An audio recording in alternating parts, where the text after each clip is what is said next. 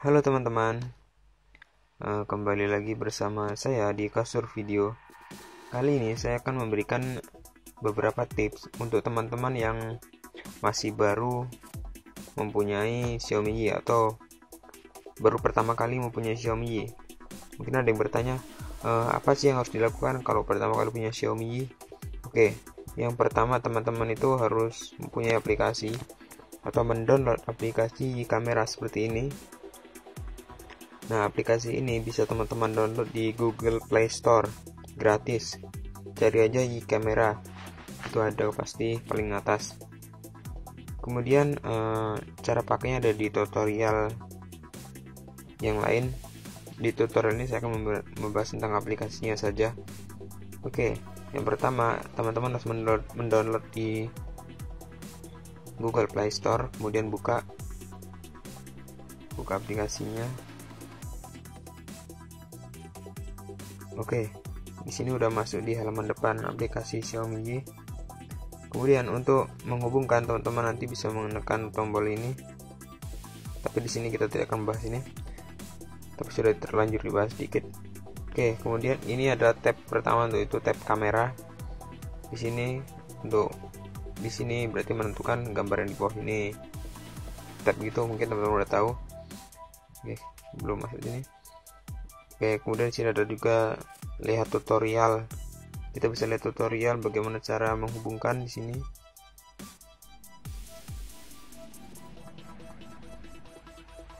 Nah, ini. Kita bisa lihat tutorialnya hidupkan kamera tekan on ya, tekan yang bagian ini.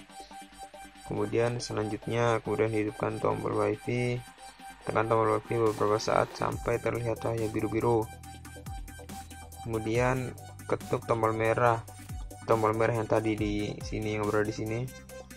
Itu atau eh, kalau disuruh masukin sandi masukin sandi, sandi 1 sampai 10 sampai 0 dan oke. Okay. kemudian pada tab selanjutnya ini adalah tab-tab foto. Di sini ada tab-tab foto kita. Atau foto-foto yang sudah disimpan ke dalam memori HP jadi uh, secara otomatis jika kita menggunakan Xiaomi itu hasil foto akan tersimpan di memori micro SD yang ada di Xiaomi Y jadi tidak langsung tersimpan di uh, smartphone. Jadi untuk uh, menyimpannya kita harus mengklik download. Kemudian uh, di bagian atas ini juga ada switchnya. Uh, kalau kita switch yang karena ini tidak terhubung ke kamera jadi switchnya otomatis ke smartphone. Kalau dia terhubung maka switchnya ini akan pindah ke bagian kiri kemudian di sebelah samping sebelah ini atau gambar seperti kompas ini adalah tutorial-tutorial dokumen dokumentasi dari Xiaomi officialnya. Di sini kita bisa lihat tutorial ada Xiaomi video, sport, travel dan sebagainya. Banyak sekali.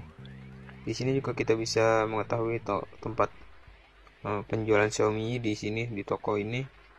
Di gambar card, gambar keranjang belanja kereta dorong tapi di sini harus terhubung ke internet. Kalau nggak salah di sini terhubungnya di Amazon. Oh iya bener Amazon.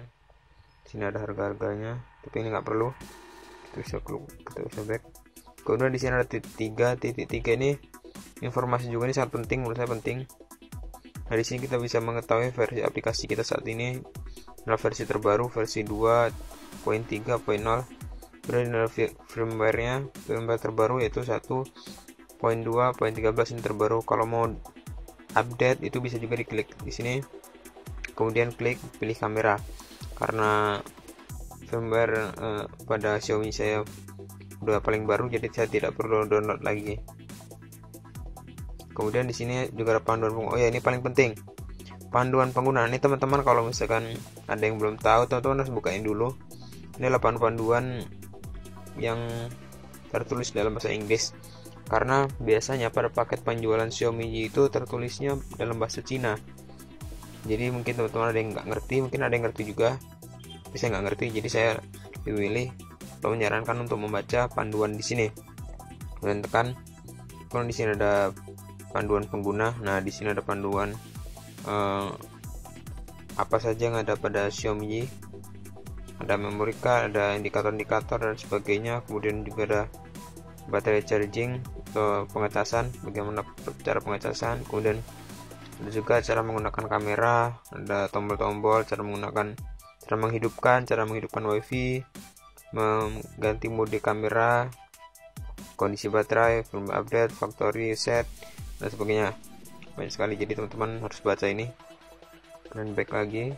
Terus di sini ada question and ask. Ini ada pertanyaan-pertanyaan mungkin.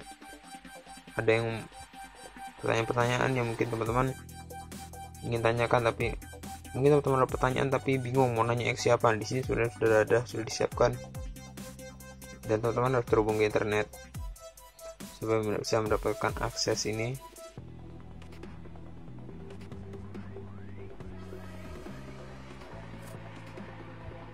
Nah, di sini bagaimana cara upgrade, bagaimana cara restore, bagaimana saya merubah password dan sebagainya. Banyak sekali tutorial-tutorial pertanyaan-pertanyaannya. Ini juga masalah koneksi, kenapa tidak bisa terhubung dengan wifi, pengaruh ini, ini, ini banyak sekali. Ada juga foto video, pertanyaan tentang foto video, kemudian masalah baterai, ini, ini, ini. Banyak sekali pokoknya. Kartu memori bermasalah,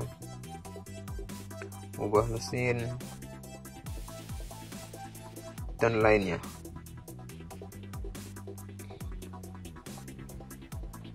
oke jadi uh, sebenarnya di dalam aplikasi Xiaomi ini sudah lengkap. Jadi kita tidak perlu membuka manual manual book yang ada di di, di box atau bawaan dari Xiaomi di sini sudah lengkap. Ada feedback feedback ini untuk untuk apa namanya kontak. Nah. jadi sebenarnya untuk teman-teman yang punya Xiaomi harus lebih pandai lagi lebih teliti lagi